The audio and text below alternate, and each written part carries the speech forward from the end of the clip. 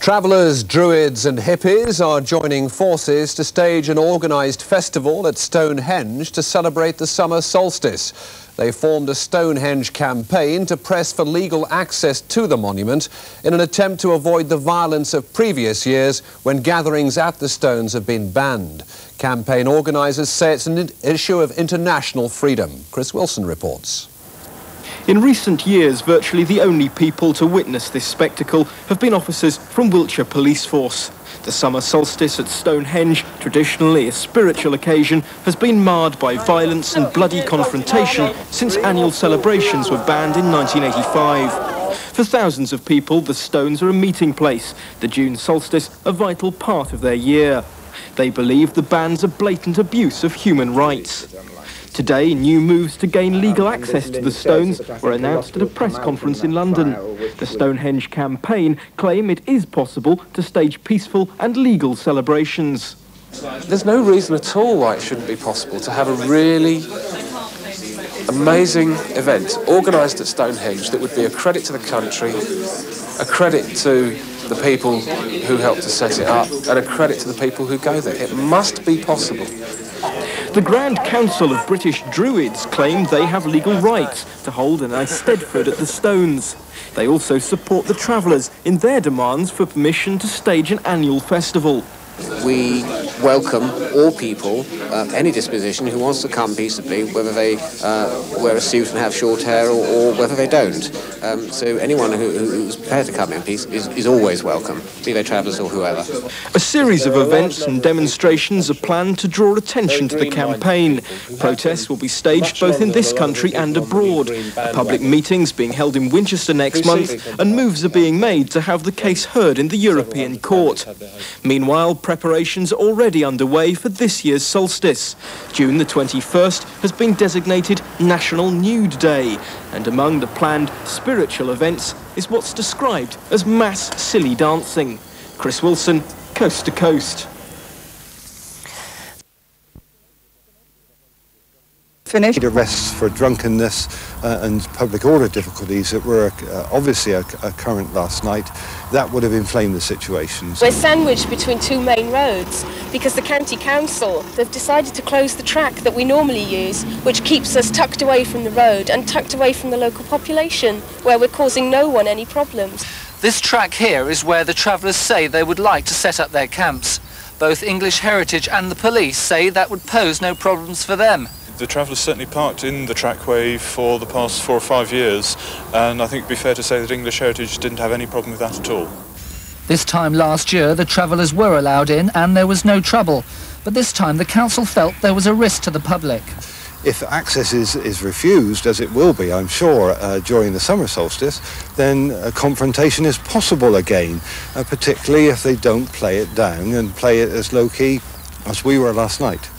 The travellers are urging the council to reconsider. Otherwise, both they and the police warn there'll be further violence. Keith Malone, coast to coast at Stonehenge.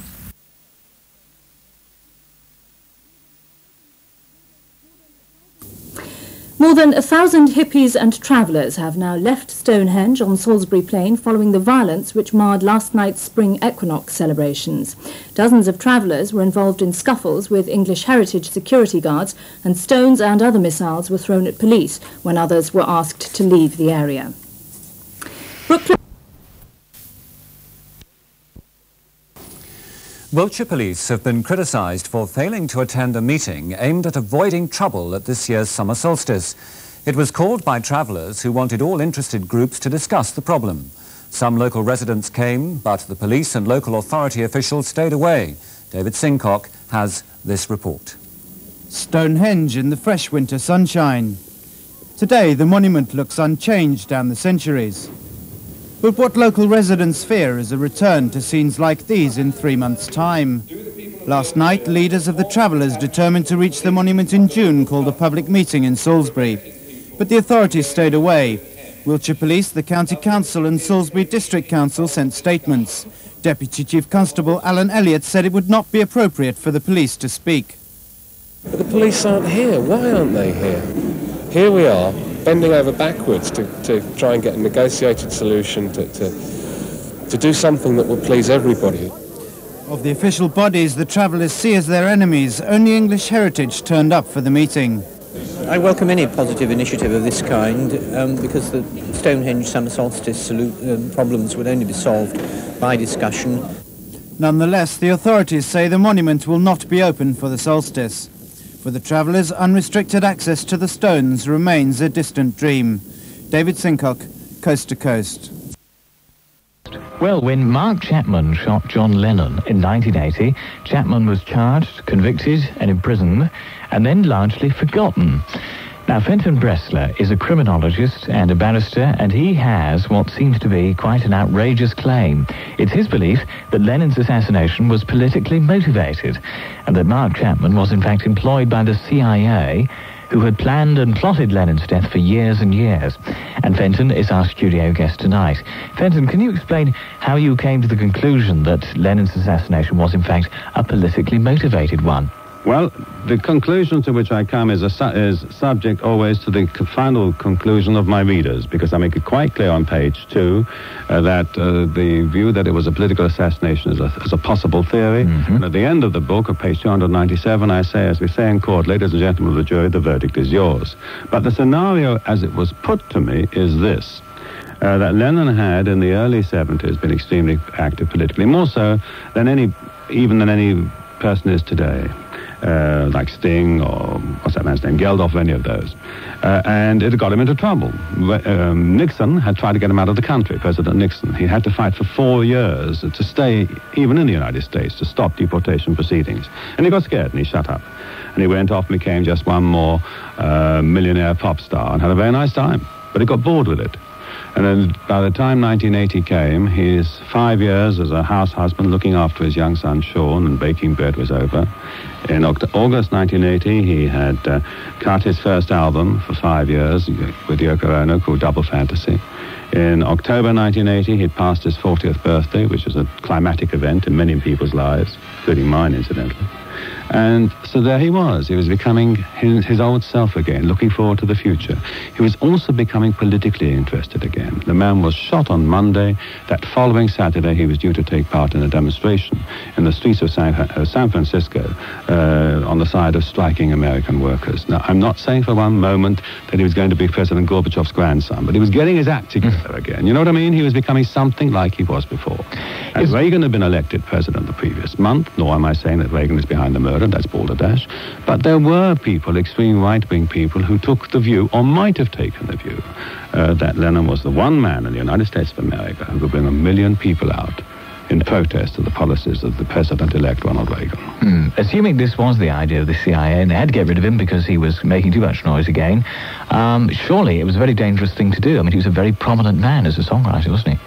Yeah, I know, but if you're, eh, eh, eh, by definition, you're paranoid if you're in the CIA anyway. By def- but don't forget, they had 20 years researching into what they called behavioral modification. That is their term, not mine, behavioral modification. Uh, they are on record, there were congressional inquiries which revealed that they have been responsible for political assassinations.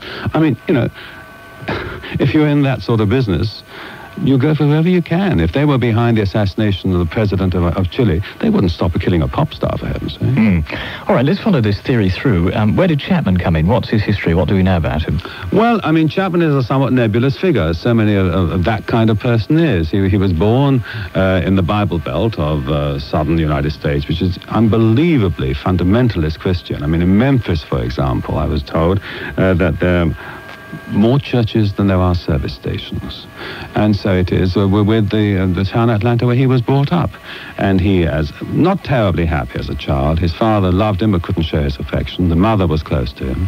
He goes to school. He's into all kinds of drugs by the age of 14. I mean, literally all kinds of drugs. He then is saved from that by his fundamentalist Christian belief. There's some uh, Bible-punching preacher who takes him away from it all. And he then wears a big cross and becomes a born-again Jesus lover or freak, whatever you want to say. Uh, he then gets involved, and rightly and properly so, in the YMCA. And I know it sounds bizarre, but the fact remains in America there is some evidence to indicate that the CIA has infiltrated the YMCA. And so he ends up in 1975 in, of all places, Beirut. This penniless 20-year-old boy from the Bible Belt is in Beirut when the civil war is breaking out. Why? An argument could well be he was being blooded because he was so impressed and so shattered by the violence, he actually took back a cassette of the sounds of bombs and guns going off and people screaming and played it to people I interviewed in Atlanta. I mean, uh, there was no trial of the boy because God told him to plead guilty. But I wonder if some of these facts had come out in front of a jury, what they would have thought. Okay, we'll take a little motivated, and uh, he's written a book about it. It's called The Murder of John Lennon. Details about that later on. As I remember, it was a case of insanity, wasn't it? A fan of Lennon. No, it wasn't. Ah, ah, ah, ah. No, it wasn't. That again is something that's so bizarre. The defense of Jonathan Marks, his defense attorney, with whom I still play squash from time to time in New York, um, put forward was not guilty by reason of insanity, which is the defense we used to have in this country. We don't have it anymore. Now it's guilty by reason of insanity. It used to be not guilty by reason of insanity until someone shot a Queen Victoria in the early 1880s, and she was so offended that the thought that someone who tried to kill her should be not guilty, they changed the law. But in America, they didn't care all that much about Queen Victoria. They still got the old common law. So his defense was not guilty by reason of insanity. But then God comes and says, don't have a trial. So there ain't no trial. And he gets sentenced as a sane man, and he is now in a prison for sane people. Mm, so how thoroughly investigated were the circumstances that led up to the murder? Almost not at all. I mean, I, I, found in retirement a very nice man called Arthur O'Connor, who was the lieutenant of detectives in that particular precinct, who interviewed um, Chapman on the night and actually said to me, you know, he's, and I, my tape recorder was on the table, so I was, no, I'm, I'm you know, I'm, I'm, not the gutter press. Uh, and uh, he said, you know, well, he, to me, he looked programmed. I know what use you're going to make of that word. I mean, but they were, I mean, he was banged to rights. The, the, you know, the guy stood there and waited for the police to come. They did inquire into his background to some extent, but there was no investigation of the mm. conspiracy. There was no investigation, really serious investigation of anything else. It was such a crude murder, wasn't it? I mean, one would expect something more carefully planned by the CIA, perhaps. No, not at all. Don't forget, you're in the country of hit killings par excellence. You're in the country, there was, I think, the 742nd shooting in the streets of New York that year. It's exactly what you would have want. This isn't a, mur- a murder in Budleigh Salterton. This is a murder, uh, you know, on West 72nd Street, New York. Mm. Surely Chapman would never have agreed to it. I mean, he would have known that it would have meant life in prison or even death. No, but he was programmed. If what I'm suggesting is right, the man was programmed. His mind was taken over. And in fact, he's actually said in a tape I've listened to, he heard in, he hears himself in his head a voice saying, do it, do it, do it. And one of the psychiatrists, not that I have all that great respect for psychiatrists, one of the psychiatrists who saw him actually used the term, and this is significant, I think, David, actually used the term that they sounded to her like command hallucinations. Mm, that's very interesting. If you're right, Fenton, if this theory is right, what justice can be done? Oh, my dear boy, I'm a lawyer. Don't talk to me about justice. So absolutely nothing can be done at all. Well, and no, one's, look, no I, one would recognise these claims. Well, look, look, I tell you this. There have already been two reviews in this country that I've read. One was by, by a former police officer who says balderdash. The other is, that at least the Sunday Times were fair. Everyone knows that John Stalker's an ex-police officer. The Sunday Telegraph runs a review uh, by a very distinguished man, doesn't disclose to its readers that he was one of the uh, original founders, as I understand of the CIA. He also says balderdash. Uh, the establishment always gathers unto its own. I don't know. Um, the book is coming out in early March, uh, sorry, early September in the States. It'll be very interesting to see what the reaction of the Americans will be. It'll be very interesting to see what the New York City Police Department say to me when I'm in New York in early September. I'm not particularly looking forward forward to that visit, or to what happens when I get to Chicago, or whatever. Maybe we'll talk again in six months' time, David. Mm, perhaps so. And the book is The Murder of John Lennon, and the publisher, Fenton? It's published by Sidgwick and Jackson, and the flyleaf tells me it's £12.95. Sounds like very interesting reading. Fenton, thank you very much. Okay, thanks said they defy police warnings to stay out of Wiltshire. The hippies say they're determined to hold a pop festival at the Stones, but police say they won't let it happen, as Nick Pennell now reports. 800 hippies have now gathered outside Bath, just a few miles from the Wiltshire border and only an hour from Stonehenge by road. This year, there won't be any mass invasion by peace convoys. The hippies say they'll split into small groups and avoid a direct clash with the police before the summer solstice. We have a free festivals, you know. We're hoping to walk to Stonehenge. Walk you to Stonehenge? Peaceful, peaceful walk to Stonehenge. Do you think that'll be a, a big gathering this year? Yeah. Yeah, I hope so. That's right. yeah. The last major confrontation two years ago ended with a dawn raid by police who evicted the hippies from their illegal campsite. A hundred were charged with obstruction and the convoy broken up. Last year, a small number were allowed to celebrate with the Druids if they had tickets. This year, English Heritage have issued a thousand tickets. Police say that's the maximum they'll allow into Stonehenge. They warn there is no land or site for a gathering. Any gathering will be regarded as an illegal act. The police say if they find any sizable group of hippies camping in the next 20 days leading up to the summer solstice, they'll evict them from the county. Nick Pennell, Coast to Coast, Wiltshire.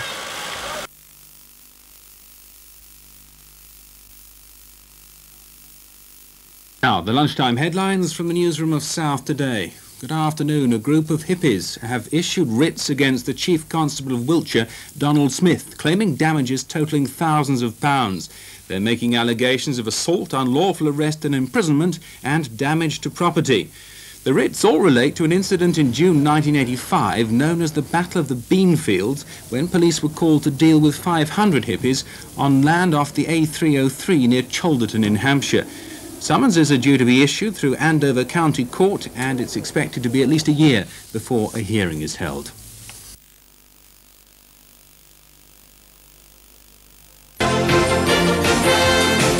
From the newsroom of TVS, the lunchtime news for the South. Good afternoon. English Heritage say they'll fight new moves by a farmer to hold a midsummer festival on land next to Stonehenge. They're furious that solstice celebrations could be held on fields just yards from the stones. Dairy farmer Michael Eavis from Somerset wants to buy a thousand acres on Salisbury Plain to stage a festival similar to the one he currently holds at Shepton Mallet. The last Stonehenge festival was held in the early 80s, but English Heritage banned it because of the damage to the site. Meanwhile, the Chief Constable of Wiltshire, Donald Smith, has been served with writs by 18 people in connection with the police operation against hippies three years ago. They allege assault and unlawful imprisonment.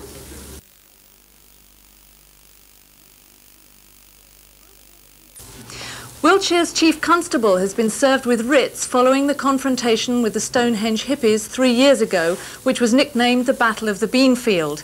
Donald Smith is being sued by people who allege damage to property, assault and unlawful imprisonment. He sent his officers to tackle a large group of hippies who'd gathered at Cholderton on the Wiltshire-Hampshire border. There were more than 500 arrests.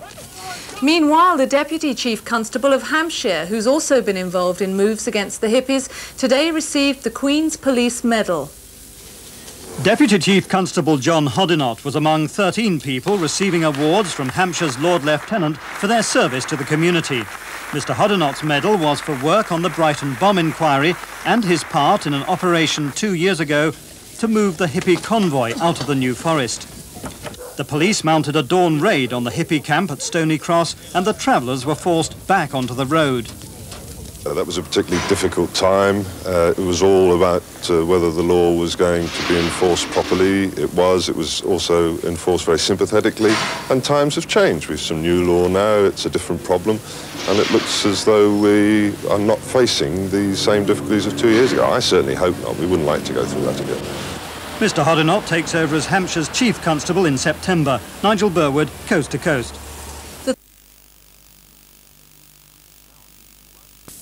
Now on BBC One, Bruce Parker and Sally Taylor present tonight's edition of South Today.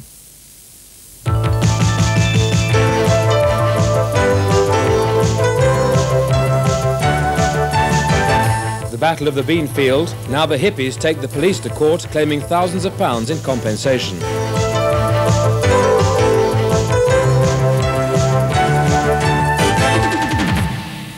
Hello, good evening. A full report on the latest round in that running battle in just a moment.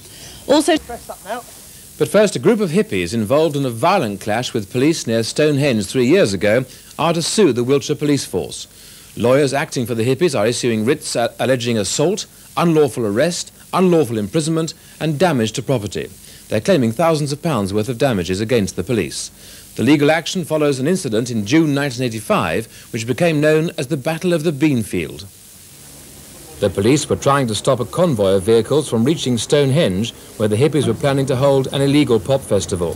Roadblocks were set up at Cholderton, about six miles from the ancient monument, and officers tried to disperse the convoy. But the operation, which involved around 1,300 officers from seven different police forces, turned into a violent confrontation. Police wearing riot gear were brought in, and more than 500 hippies were arrested. Charges against them were later dropped. The operation was severely criticised by the Police Complaints Authority in a report published in March last year. But the Chief Constable of Wiltshire, Mr Donald Smith, defended his officer's actions. I think you must accept that they showed a high degree of courage, and uh, I shall always be proud of the way in which the vast majority of those officers on duty acquitted themselves on that day. Well, Alan Lodge is one of those who've taken out a writ against the Chief Constable of Wiltshire. He's in our Bristol studio now. Why are you taking this action now? Um, I instructed my solicitor uh, three years ago, but it's taken this long through the legal, legal aid system. My solicitor is in Southwark, and I believe that's the longest list in the country. And so legal aid has been granted? It has now, yes. What precisely are the grounds for your own action, then? Um, your viewers will have just have seen footage of what occurred on the 1st of June 1985 at Cholderton on the Hampshire-Wiltshire border, and they will know that uh, the police action, especially in front of TV cameras, was absolutely appalling.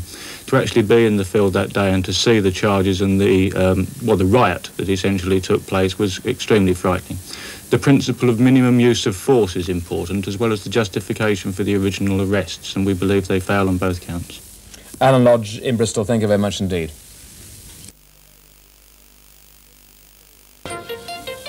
Good evening. A hundred hippies banned yesterday from camping on woodland near Reading are preparing to march to Stonehenge. The hippies are tonight camped on wasteland at Silchester. Yesterday they tried unsuccessfully to move onto a nearby site they used last year for a festival. Police are at the scene, but so far there's been no trouble. The media are also watching the hippies' progress, and the hippies are keeping an eye on them too. Very disturbing story. Well, it's been a day of tense negotiations between police and several hundred hippies in the Thames Valley today. The hippies were moved off the site of a weekend pop festival at Silchester this morning. Now police say they want them to keep moving and stay off private land. Gareth Jones reports. Police moved in fast to round up the hippies on Berkshire's roads. Small convoys were stopped and prevented from regrouping after being moved on earlier in the day.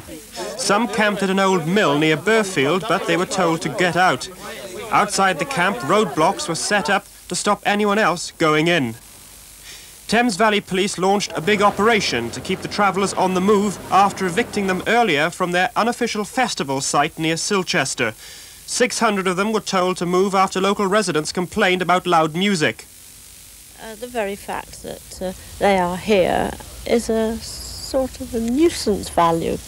Uh, it's a very quiet country road normally, and uh, to that effect, uh, I don't think they are an addition to anybody's peace of mind. My daughter um, told me that there was a group of hippies on the lawn here and they'd knocked on the door and said could they have an ambulance because one of them had been beaten up.